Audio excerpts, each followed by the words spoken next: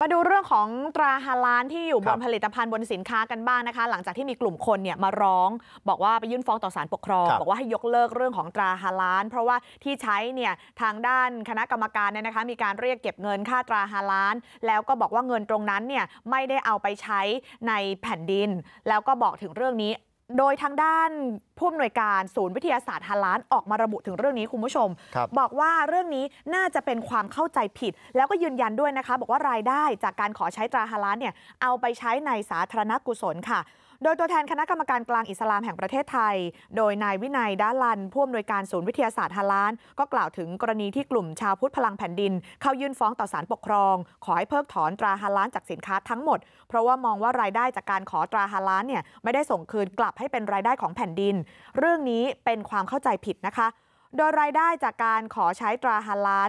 120 ล้านบาทต่อปี ที่มีคณะกรรมการกลางอิสลามแห่งประเทศไทยเป็นผู้ดูแล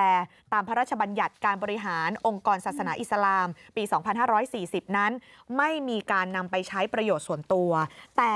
นำไปมอบให้กับองค์กรการกุศลทั้งสิ้นนะคะ และนอกจากนี้ผู้ประกอบการส่วนใหญ่ที่ได้ประโยชน์จากตราฮาลาน เพื่อไปรับรองสินค้าให้สามารถขาย ให้สามารถส่งออกไปยังประเทศมุสลิมได้อย่างมีมาตรฐานนั้น กว่าร้อยละ95ถึงร้อยละ96 ไม่ได้นับถือศาสนาอิสลามค่ะ ประเทศไทยเนี่ยได้ส่งออกผลิตภัณฑ์อาหารไปยังประเทศมุสลิม 57 ประเทศ เป็นมูลค่ากว่า 10,000 ล้านบาท ในปี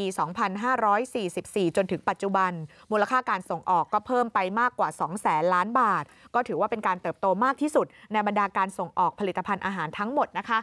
ก็เลยทำให้รัฐบาลเนี่ยตั้งเป้าหมายเอาไว้ ปี 2563 อีก 3-4 ปีข้างหน้าเนี่ยนะคะ ต้องการที่จะเป็นผู้ส่งออกอาหารฮาลาล1ใน 5 ของโลก ปัจจุบันนี้เนี่ยเราอยู่อันดับที่ 13 ของโลก ก็เลยต้องการไต่อันดับไปติดท็อปไฟ ส่วนเรื่องของงานเมาลิดกลางแห่งประเทศไทย ประจำปีฮิจรอศักราช